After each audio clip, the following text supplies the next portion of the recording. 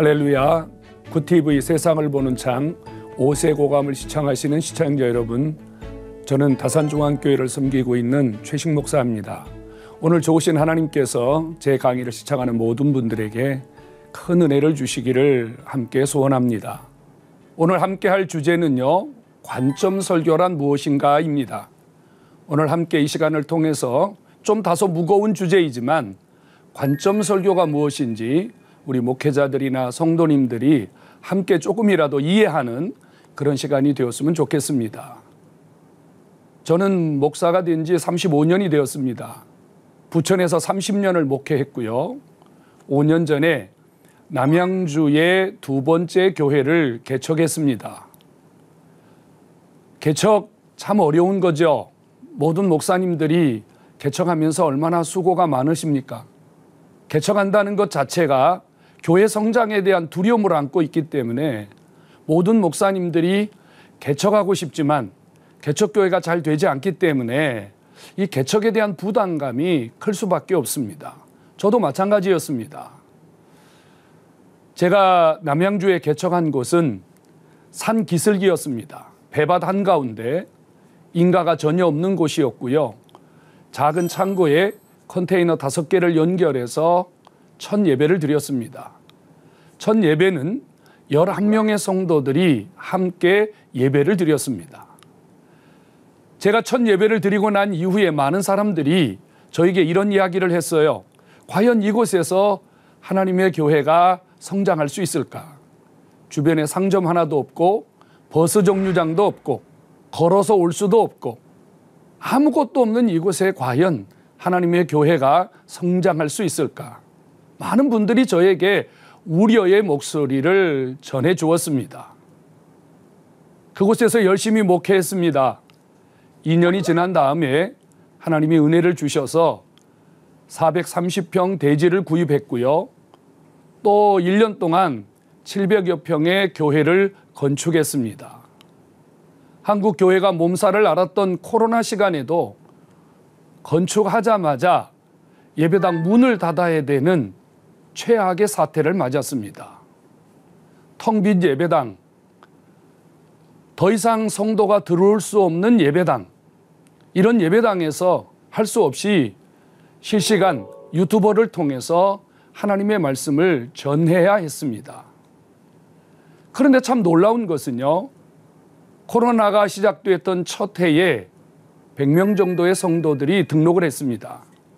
그 다음에는 157명의 성도가 등록을 했습니다. 그리고 작년에는요, 251명의 성도가 등록했습니다. 올해도 지금까지 100명 이상의 성도가 계속해서 등록하고 있습니다.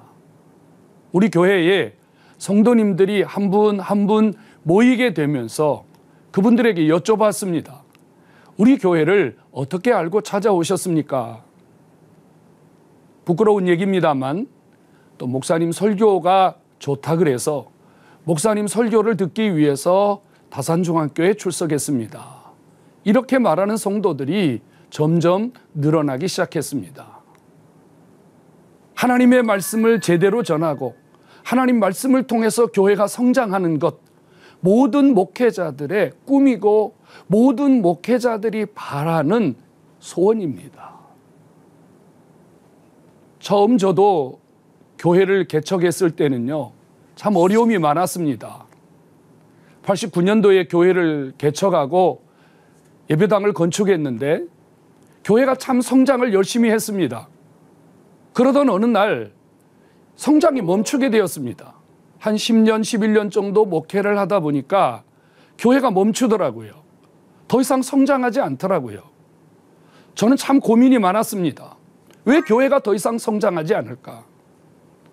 그래서 안식년을 내고 전국에 있는 교회 42개를 돌아다니기 시작했습니다. 어떤 교회가 성장하는 교회인가? 어떻게 하면 교회가 성장을 이룰 수 있을까? 42개의 교회를 돌아다니면서 제가 발견한 공통점이 있었습니다. 그것은 바로 목사님들의 설교였습니다. 목사님들의 설교가 교회를 성장시키는 주요한 원인이었습니다. 저도 어, 나름대로 설교를 좀 잘하는 그런 목회자라고 주변에서 소리를 많이 들었습니다. 저도 공부를 많이 했고 또 학교에서 강의도 했고 결단코 설교를 못한다는 말을 들어본 적이 없습니다. 그런데 왜 내 설교와 성장하는 교회 목사님의 설교는 무엇이 다른가? 미처 제가 생각하지 못한 부분이 있었습니다. 저는 그동안 제 나름대로 열심히 설교를 했는데 청중들이 제 설교를 들리지 않았던 겁니다. 성장하는 교회 목사님들은요, 설교가 들리더라고요. 들린다는 말이 무슨 말이냐면요. 오늘 목사님의 메시지가 내 삶, 내 문제, 그리고 하나님이 오늘 나에게 주시는 메시지로 들렸다는 겁니다. 이거 참 중요한 이야기였습니다. 저는 그다음부터 저를 바꾸기 시작했습니다. 설교를 위해서 다시 공부를 시작했습니다. 1년 동안 피나는 노력을 했습니다. 정말 열심히 설교를 다듬고 열심히 설교를 바꾸기 위해서 정말로 목에서 피가 날 정도로 연습을 하면서 설교를 바꾸었습니다. 우리 교회는 청중이 바뀐 것도 아니고 환경이 바뀐 것도 아니었습니다. 그런데 1년이 지난 다음쯤에 교회가 달라지기 시작했습니다. 성도들이 조금 전에 말씀드린 것처럼 목사님 설교가 들립니다. 목사님 설교가 들립니다. 이렇게 저에게 말하기 시작했습니다. 청중들이 설교가 들리기 시작한 다음부터는요, 변화가 일어나기 시작했습니다. 그렇게 열심히 전도하라고 외쳤건만 성도들이 별로 전도하지 않았습니다. 헌신하라고 그렇게 외쳤건만 별로 헌신하지 않았습니다. 그런데 성도들이 설교가 들리기 시작하면서 설교가 하나님의 음성으로 자신들의 삶 속에 주시는 메시지로 들리기 시작하면서 청중들이 움직이기 시작했습니다. 매주일 청중들이 전도해서 교회가 채워지기 시작했습니다. 1년 52주 가운데 딱 3주만 새신자 등록이 없었습니다. 49주 매주 성도들이 전도해서 교회를 채워가는 것이었습니다. 정말 놀라운 일이었습니다. 청중이 바뀐 게 아니었습니다. 제가 바뀌었습니다. 제 설교가 바뀌었습니다. 제가 청중들을 향하여 전하는 메시지가 바뀌었는데 이 메시지가 바뀌면서 교회가 바뀌고 청중이 바뀌고 교회에 놀라운 일들이 이것저것 일어나기 시작했습니다. 제가 청중들과 함께 나누기 시작한 설교는 관점 설교입니다. 관점 설교란 성경 본문이 선택이 되면 그 본문 속에서 하나님이 우리에게 말씀하시려는 목적이 있어요. 하나님이 우리에게 전달하려는 하나님이 이 본문 속에 주신 하나님의 메시지가 있다 이 말입니다. 이것을 설교자가 찾으면 이게 관점이에요. 설교자의 관점이 아니라 하나님이 본문을 통해서 우리에게 주시려는 핵심 메시지입니다. 이것을 설교자가 관점으로 찾아서 이 관점을 중심으로 설교를 하는 것입니다.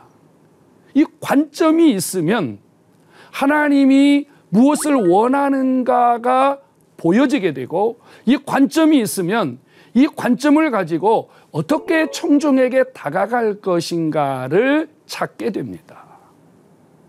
그런데 중요한 것은요, 이 관점이 과연 하나님이 원하시는 관점인가? 오늘 이 관점을 통해서 청중들이 자신의 삶을 일으킬 수 있는 관점인가? 이것이 중요합니다.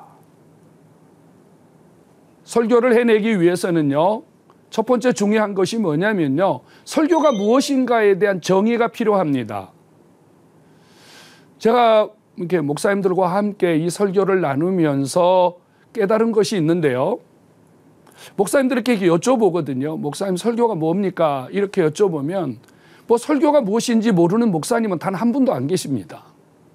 그래서 제가 이렇게 다시 한번 여쭤봅니다. 목사님이 생각하는 설교는 뭡니까? 이럴 때 목사님들은 조금 주저하시더라고요. 설교자가 설교를 해내기 위해서는 자기만이 가지고 있는 설교의 정의가 있어야 됩니다. 설교가 뭐 캐리그마적 요소, 디다케적 요소 이거는 주석 혹은 설교학에 써 있는 이야기고요. 이거 말고 설교자가 설교를 이끌어 가기 위해서는 나에게 설교는 이거다. 나에게 설교는 이거다. 분명히 설교자 자신의 정의가 필요합니다. 저에게 묻습니다. 목사님이 생각하는 설교는 뭡니까? 저에게 설교의 정의가 있습니다. 제가 생각하는 설교는 제가 가지고 있는 설교의 정의는 세 가지입니다. 설교는 읽기, 쓰기, 말하기입니다. 다시 한번요. 설교는 읽기, 쓰기, 말하기입니다. 읽기가 뭡니까? 본문을 읽어내는 거예요. 우리에게 텍스트는 주어져 있습니다. 성경이라는 텍스트는요, 우리가 바꿀 수 없습니다. 중요한 것은 하나님이 우리에게 이 성경을 주셨을 때 하나님이 무엇을 목적으로 우리에게 주셨는지를 설교자가 읽어내야 된다는 겁니다. 성경을 읽지 못하는 목회자가 있을까요? 그런 분은 없습니다. 목회자든 평신도든 우리는 누구든지 성경을 읽어냅니다. 오늘 제가 여러분들에게 말씀드리려고 하는 것은 관점입니다. 설교자가 본문 속에서 무엇을 전할 것인가? 하나님이 오늘 본문 속에 내게 주신 목적이 무엇인가를 관점으로 찾아서 그것을 읽어내는 것, 이것이 바로 읽기입니다. 예를 들자면요. 창세기 1장 1절에 이렇게 말하죠. 태초에 하나님이 천지를 창조하시니라. 여기에서 우리가 찾아낼 수 있는 관점은 적어도 네 가지입니다. 태초, 하나님, 천지, 창조입니다. 이 네 가지 중에 이 창세기 1장 1절을 통해서 하나님이 우리에게 말씀하시려는 목적, 설교자가 가장 중요하게 핵심으로 붙들고 설교해야 될 관점은 무엇일까요? 바로 하나님이십니다. 하나님 그분이 코어예요. 하나님이 관점이에요. 하나님 이분을 중심으로 설교하는 겁니다. 조금 더요. 우리가 가장 많이 아는 대표적인 성경 구절 가운데 하나가요. 항상 기뻐하라입니다. 여러분 기뻐할 수 있죠. 뭐 가끔 기뻐할 수 있고 어쩌다 기뻐할 수 있고 기쁜 일이 있으면 기뻐할 수 있습니다. 그런데 성경이 항상 기뻐하라고 합니다. 그러니까 성경이 우리에게 원하는 관점은요, 기뻐하라가 아니고요, 항상 기뻐하라는 겁니다. 항상 기뻐하라는 거죠. 항상이 관점입니다. 관점, 무엇을 전할 것인가를 본문을 통해서 읽어내는 것, 관점을 중심으로 본문을 읽어내는 것, 이것이 관점 설교의 읽기입니다. 또 하나는요, 설교는 쓰기입니다. 설교는 설교문으로 작성이 되어서 내가 무엇을 전할 것인지가 정리가 되셔야 합니다. 설교문을 작성해야 돼요. 설교문을 작성하기 위해서는 그냥 그냥 설교가 작성되는 건 절대 아니죠. 설교문이 작성되기 위해서 제일 필요한 게 뭐냐면요. 글쓰기에 필요한 법칙이 있어야 된다는 겁니다. 일종의 프레임이죠. 프레임을 가지고 있어야 글을 쓸 수 있습니다. 프레임이 없는 분은 글을 쓸 수가 없어요. 뭐 시를 쓰든 산문을 쓰든 수필을 쓰든 설교문을 쓰든 어떤 글을 쓰는 분이든 프레임을 가지고 있지 않으면 설교 글 쓸 수가 없습니다. 근데 우리가 중요하게 생각해야 되는 건요. 이 글을 쓰는 프레임은 신학이 아닙니다. 논리적인 구조입니다. 이 논리적인 구조는 더 좋은 논리적인 구조가 있다면 현재 내가 쓰고 있는 논리적인 구조는 빨리 버리셔야 돼요. 논리적인 구조가 탁월할수록 견고할수록 글이 잘 써지게 되고 그 잘 써진 글이 바로 설교로 전달이 될 때 영향력을 줄 수 있겠죠. 많은 목사님들이 이 설교문을 작성하는데 어려움을 갖고 계십니다. 그것은 설교 작성을 위한 프레임이 없기 때문입니다. 관점 설교의 중요한 핵심 중에 하나는요, 관점을 중심으로 프레임을 가지고 설교를 작성할 수 있는 것입니다. 그 다음에 또 하나는요, 관점 설교의 세 번째는요, 바로 말하기입니다. 목회자들은 말쟁이에요. 목회자들은 글쟁이가 아닙니다. 목회자가 아무리 글을 탁월하게 잘 썼다 할지라도 이것을 스피치를 통해서 전달을 해내지 못하면 이것을 효과적으로 청중들에게 담아내지 못하면 아무 소용이 없는 거지요. 글을 참 잘 쓰시는 분이 계세요. 책도 내시고 뭐 시집도 내시고 이런 분들 많이 계시거든요. 그런데 간혹 그런 분들 중에 이 설교 시간에 말로 전달하는데 어려움을 느끼시는 분들이 종종 계시더라고요. 설교는 말로 해결해야 됩니다. 청중들은 말로 전달된 설교를 통해서 주님의 음성을 듣습니다. 말을 해야 됩니다. 말을 하기 위해서 필수적으로 요구되는 것이 두 가지가 있습니다. 하나는 뭐냐면요. 표현력이에요. 똑같은 본문을 어떤 표현을 통해서 청중들에게 전달할 것인가. 표현력입니다. 표현을 어떻게 하느냐에 따라서 들리는 설교가 될 수도 있고 안 들리는 설교가 될 수도 있습니다. 이제 보통 목사님들은요, 설교를 하실 때 마이너스 용어들은 잘 안 하세요. 플러스 용어, 용어들을 많이 쓰세요. 아브라함이 순종했습니다. 아브라함이 드렸습니다. 아브라함이 헌신했습니다. 아브라함이 충성했습니다. 이런 플러스 용어들을 많이 쓰세요. 그리고 마이너스 용어들은 잘 안 쓰세요. 그러다 보니까 우리가 전달되는 말이 마치 딱따구리처럼 따다다다다다다닥 이렇게 청중들에게 계속 집요하게 들리는 이런 현상이 일어납니다. 처음에는 괜찮은데요. 계속 듣다 보면 짜증이 나거든요. 그러니까 이 전달을 할 때 가장 중요한 요소 중에 하나가 뭐냐면요. 말에 웨이브를 주는 거거든요. 말을 전달할 때 플러스 마이너스를 통해서 웨이브를 줘야 돼요. 이 웨이브를 줘야 잘 들리거든요. 그러기 위해서는 뭐가 필요하냐면요. word frame이라는 게 필요해요. 플러스 마이너스 플러스 그다음에 마이너스하고 플러스하고 또 마이너스하고 이런 word frame이 필요합니다. 표현을 잘 하셔야 됩니다. 똑같은 것도 어떻게 표현하느냐에 따라서 그것이 주님의 음성이 되기도 하고 시험 드는 소리가 될 수도 있습니다. 또 하나는요, 설교를 진행하는 능력입니다. 설교는 시간을 정해 놓고 그 시간 안에 승부를 걸어야 됩니다. 설교를 시작해서 설교를 마칠 때까지 정확한 시나리오가 필요하죠. 내가 몇 분쯤에 문제 제기를 하고 몇 분쯤에 청중들의 이야기를 꺼내고 내가 몇 분쯤에 결단을 이끌어내야 되겠다. 정확하게 설교를 이끌어가는 시나리오가 필요합니다.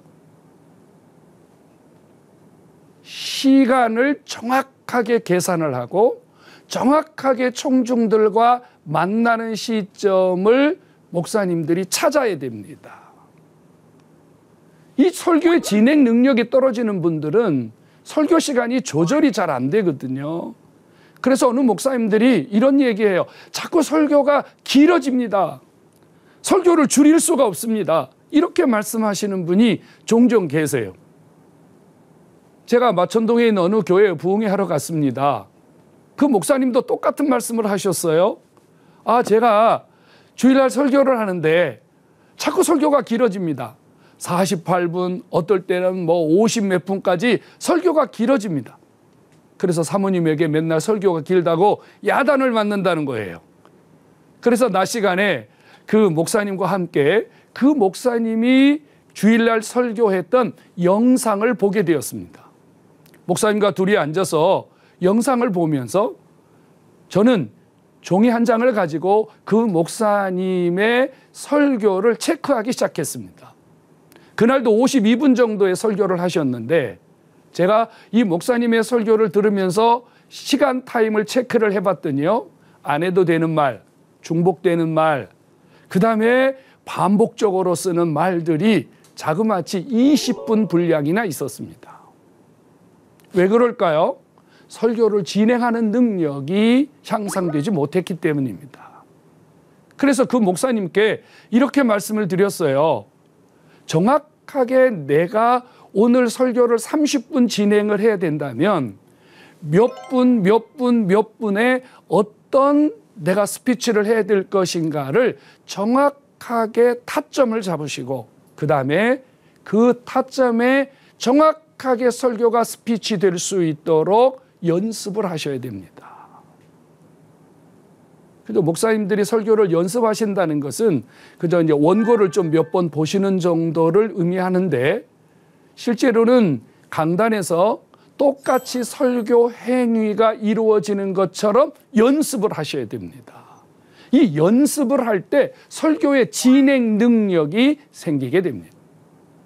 설교의 진행 능력 속에는 정확한 표현, 그 다음에 설교를 진행하는 시간, 그 다음에요, 분명한 발음과 정확한 표현, 이런 것들이 설교의 진행 능력에서 꼭 필요한 요소입니다. 관점 설교는 한 본문에서 하나의 관점을 통해서 설교를 진행할 수 있는 정확한 논리적인 구조를 가지고 시간까지 정확하게 계산해서 청중들과 만나는 것이 바로 관점 설교의 시작입니다.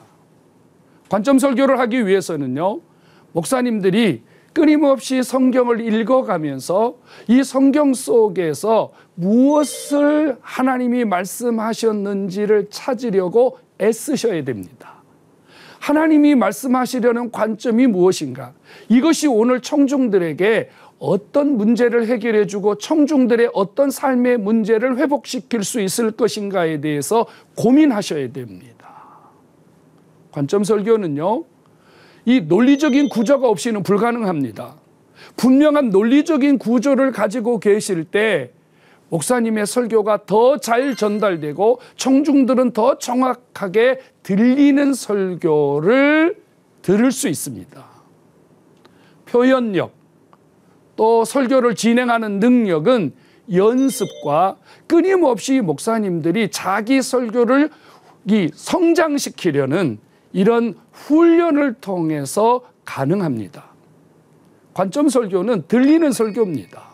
저는 그동안 이 관점을 읽는 훈련, 이 관점을 통해서 논리적인 구조를 가지고 설교를 작성하고 이 논리적인 구조를 통해서 설교를 진행하는 능력에 대하여 부단히 노력을 했습니다. 그리고 이렇게 설교했습니다. 그랬더니 청중들이 설교가 들린다고 합니다. 설교가 들리기 때문에 청중들이 헌신하게 되고 교회가 성장하게 되고 이 들리는 설교를 통해서 하나님이 아 설교가 무엇인지를 조금이나마 깨닫게 하시고 이 일에 대해서 헌신할 수 있는 기회를 주셨습니다. 관점 설교 다시 한번 목사님들의 사역에 새로운 도전이 되고 목사님들의 목회를 일으킬 수 있는 기회가 되었으면 좋겠습니다.